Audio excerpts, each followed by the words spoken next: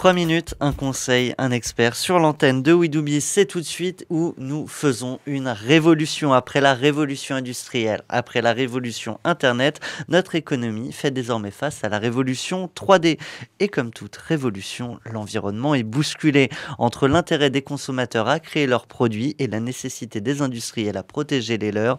De nombreuses questions se posent et nous faisons le point avec Juliette Félix. Bonjour. Bonjour. Juliette Félix, vous êtes avocat chez Grand Rue, notamment dans le, la propriété intellectuelle. Alors, déjà, est-ce que tout peut être imprimé en 3D aujourd'hui? Alors, techniquement, bientôt. Euh, juridiquement, il n'y a pas d'obstacle majeur au développement de l'impression 3D.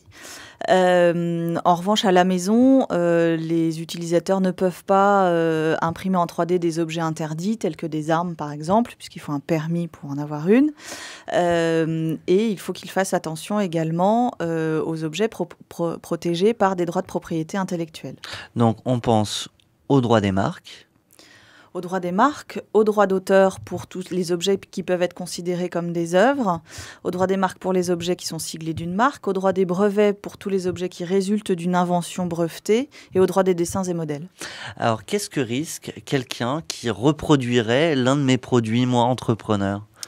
Alors, euh, une reproduction sans autorisation euh, d'un objet protégé par un droit de propriété intellectuelle constitue une contrefaçon. Après, tout le monde n'est pas nécessairement contrefacteur. Euh, le particulier à la maison qui reproduit un objet protégé peut bénéficier de, ce qu'on appelle l'exception de copie privée dès lors qu'il le fait à partir d'un fichier qui n'est pas piraté. Et qu'il a acheté chez moi. Et qu'il a, ou, qu'il a déjà l'objet euh, à la maison. D'accord. Euh, en revanche, euh, si on n'est pas dans cette exception de copie privée, alors là, on peut tomber dans la contrefaçon. contrefaçon qui est effectivement sanctionnée, même si on n'avait pas l'intention de, de voler le fabricant ou le créateur du, du produit. Donc là, ça peut aller au civil, ça peut aller au pénal. Ça peut aller au civil euh, pour euh, obtenir des dommages et intérêts et obtenir la cessation de la, reproduction de l'objet.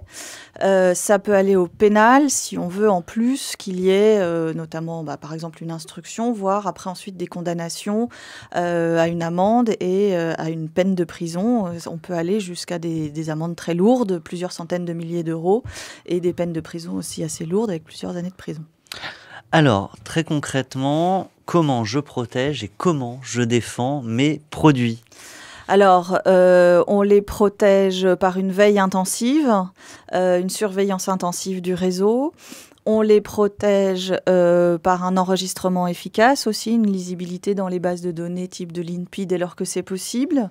Et on les protège euh, actuellement, alors on peut essayer de les protéger par ces outils qui commencent à se développer de marquage, euh, d'identification, qui s'assimilent à ce qui existe aujourd'hui pour les CD et les DVD, donc des, outils de protection qui empêchent, qui identifie, voire qui empêche la copie. Mais c'est encore très balbutiant. Donc, je fais ma veille, j'observe effectivement qu'un de mes objets a été reproduit, euh, j'attaque alors, euh, je, je, constate, je fais constater, si possible par un huissier. Au préalable, j'essaye quand même d'avoir l'avis de l'avocat pour voir si ça vaut le coup ou pas. Et puis, euh, je peux mettre en demeure, voir si c'est efficace. Et ensuite, si nécessaire, j'attaque par des voies d'urgence ou par des voies plus lourdes. Juliette Félix, un, un, dernier mot sur les intermédiaires à qui on envoie des fichiers 3D euh, qui reproduisent et qui me renvoient le produit final alors c'est un business effectivement qui se développe. Euh, ces intermédiaires aujourd'hui euh, ne rentrent pas tout à fait dans la qualification d'hébergeurs, euh, qui elle est assez protectrice, puisque les hébergeurs ne sont pas responsables. Mais comme c'est eux qui reproduisent in fine l'objet, ils peuvent être poursuivis en contrefaçon. Ils se protègent notamment par des conditions d'utilisation très strictes, où la personne qui envoie le fichier garantit qu'elle est, qu'elle est bien titulaire des droits ou qu'elle a bien le droit de le faire. Eh bien moi je garantis que nous n'en sommes qu'au début de cette révolution 3D. Un grand merci à vous, Juliette Félix. Je le rappelle, avocat chez Grand Rue. merci.